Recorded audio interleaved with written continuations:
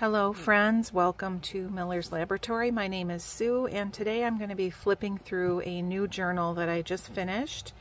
I am listing this for sale in my Etsy shop too, so if you like the looks of it you can go to the link below and that will take you to my shop. I appreciate you coming to follow along today. Um, this book that I've created is um, a big one. It has, if you count front and back, it has almost 300 pages.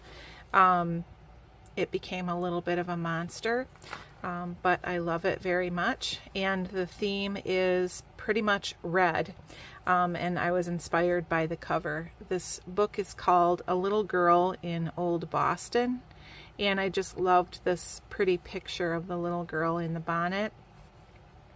And so I've got a little belt holding this book closed and it's just a little belt that I made with a couple of D-rings.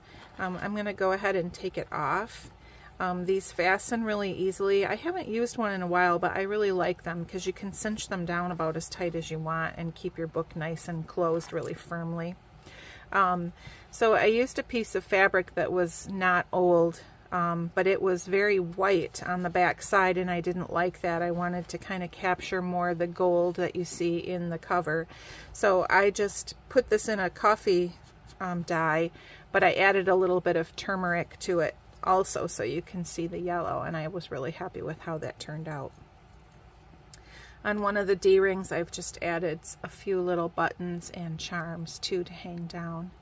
Um, I have a lot of antique buttons and I like to share those with you. So I'm going to go ahead and set that belt aside. I want to show you the spine here. This is just um, some upholstery fabric that I found that I really liked the color and pattern of because it went with the cover. And then you can see that there are five signatures and I've stitched those in with black waxed thread here. So while I flip through this book, because it's so long, I'm going to be telling you a story too. If you don't want to hear the story, you can just turn off the sound. Um, so I'm going to open this up. And on the inside, I've used the original end paper. I've just kept that. You can see the original owner's name, which is Lizzie Nordstrom. I like to keep that if I can. And then I've added a book plate here. This is from the Graphics Fairy um, premium membership site. They have some wonderful graphics there, and I'm going to be talking more about that in a, in a little minute here. Um, and then the inside of the spine, I just reinforced with some white cotton fabric. So um, everything is nice and strong. I also will try to list the places where I purchased most of these digitals. I don't usually do that because I go I use so many different things in each book, but I did limit myself a little bit more with this one, so I will try to give you the information below.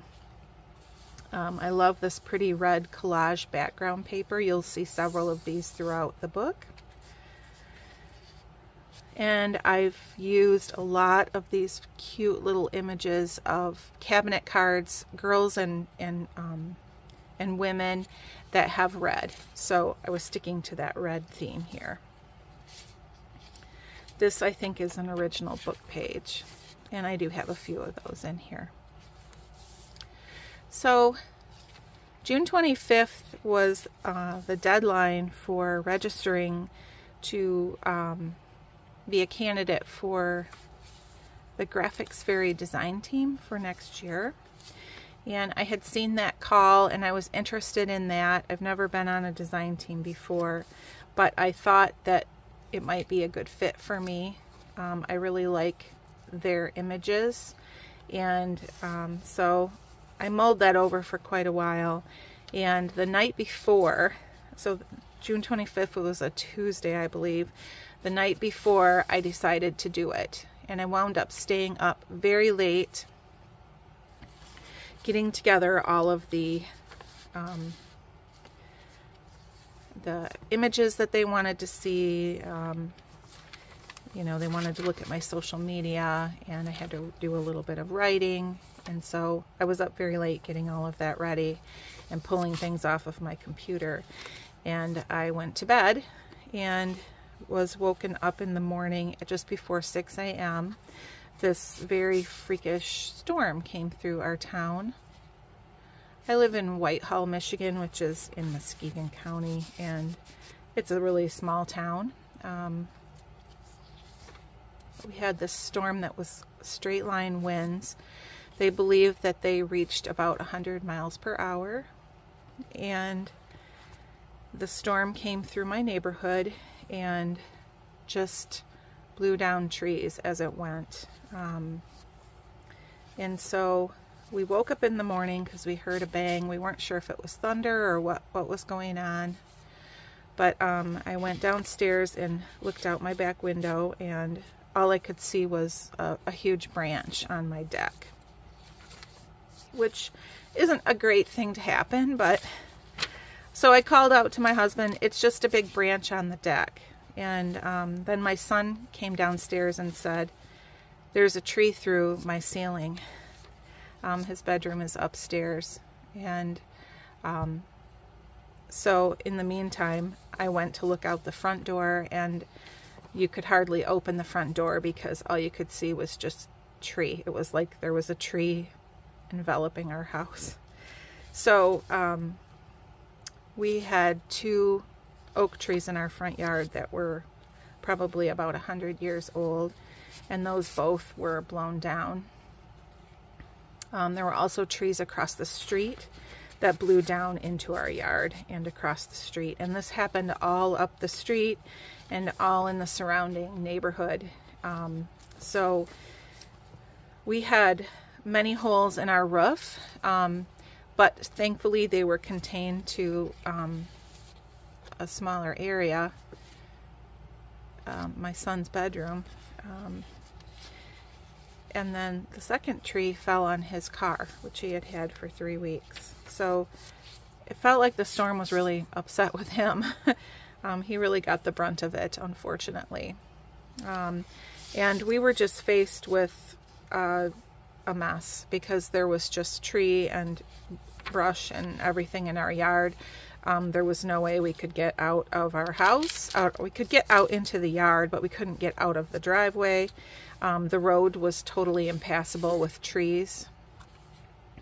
And um, there were many other houses that were impacted much more so than ours. Like there were many houses where the trees just came square down through the middle of the house. And um, many, many houses have been condemned because they're they're destroyed by the trees. So um, it was a really traumatic thing to happen. Um, we lost our power, obviously, and we lost our cable and our internet. Um, I do have some pop-ups here. I'm just going to stop talking for a second. I've probably already gone through one, but there are several in here.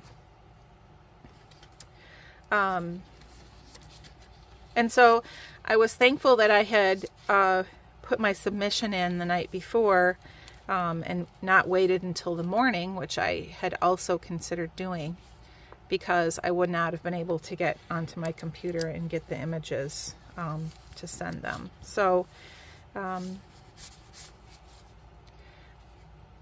that morning we obviously did not go to work. Um, our whole area, our whole neighborhood was kind of just in shock people were kind of out trying to walk around a little bit and look at what was going on and um, trying to help each other out.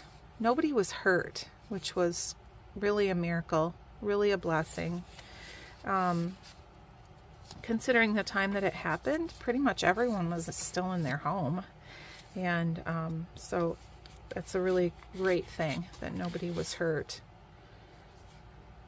Um, and then our community just all, you know, pulled together. We had a whole uh, band of gentlemen who came down the street with chainsaws and started cutting those and moving them to the side so that at least the road was cleared down the center so that it was somewhat passable. And um, we had many relatives and friends that came to our house helping us to um, clear away as much of the brush as possible. After a few days, the city actually did come and because our trees had been in the right-of-way, they actually took responsibility for our trees and paid for someone to come and remove them. Not everything is gone yet, but the bulk of the trees really sad because they were beautiful trees and it's beautiful wood. I don't know what happened to it, but you know, we were just not in a in a state where we could manage that very well. Like we weren't trying to find someone to buy the wood or anything like that. We just needed it out of our yard.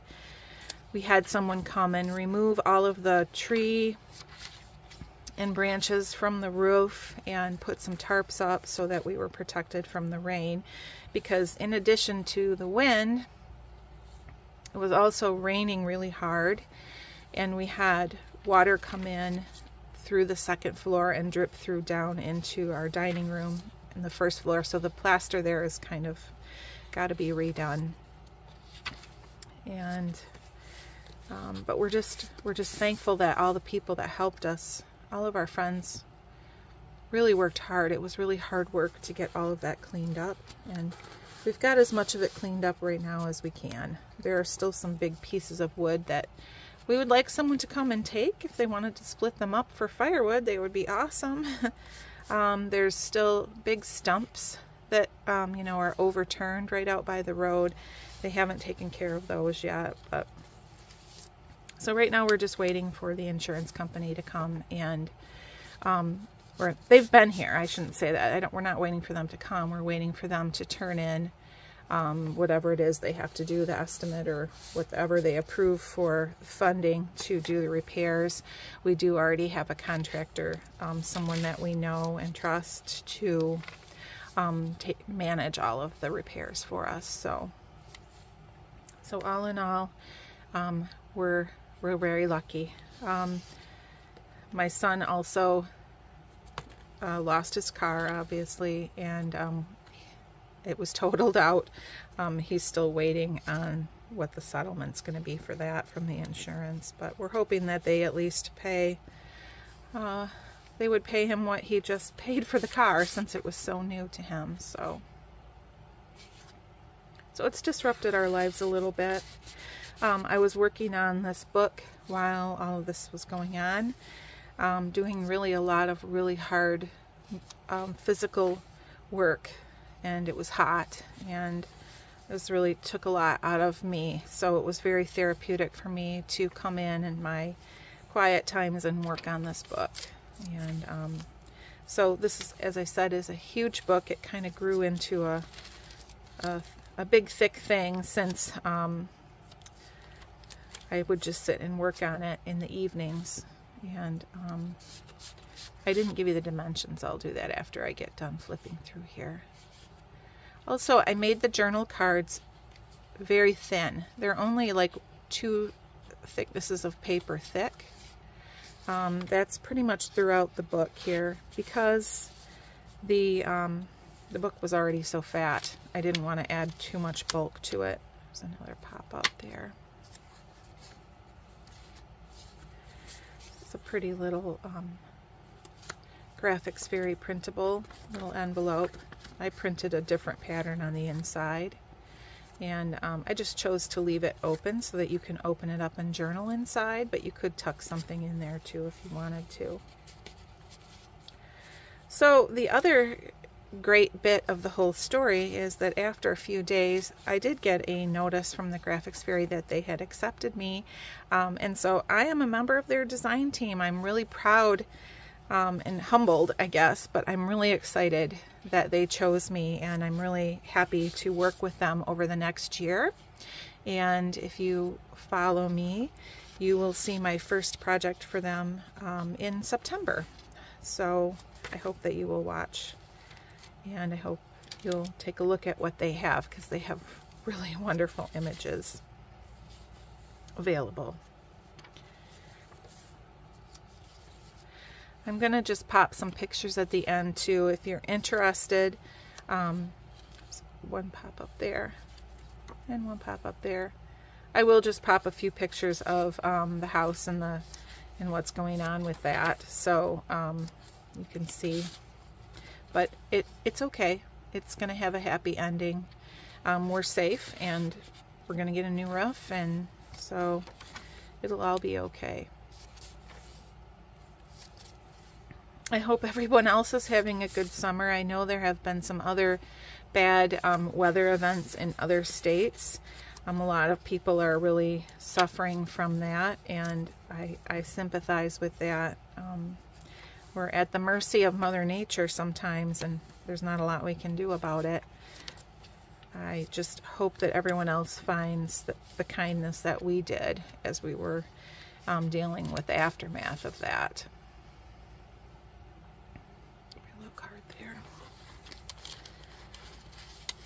I can't believe that it's already the middle of July.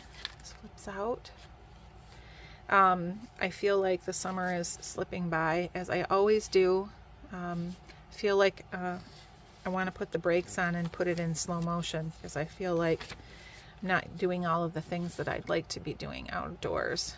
My husband and I like to kayak, and we haven't done that yet. Um, um we like to go hiking haven't really done much of that yet. So hoping that um, the rest of the summer things will calm down a little bit and we can do some enjoyable things. And um, really enjoy summer in Michigan because it's lovely. It's a lovely, lovely season for us.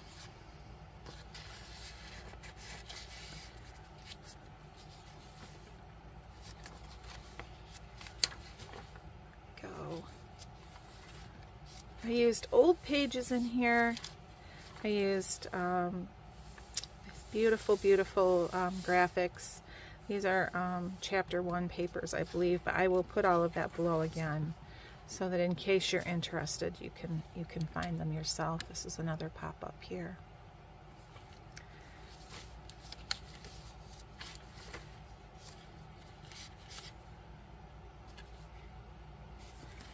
Lots of red birds, red flowers, red background papers. And that brings us to the end. So thank you for joining me. Um, oh, let me, I was going to give you the dimensions. The book is about seven and three quarters inches high, uh, five and a quarter inches wide, and when the little belt is on it and holding it closed, one and three quarters inches thick. So once again, thank you for joining me. I appreciate each and every one of you. I hope you have a wonderful day and I will see you soon. Bye.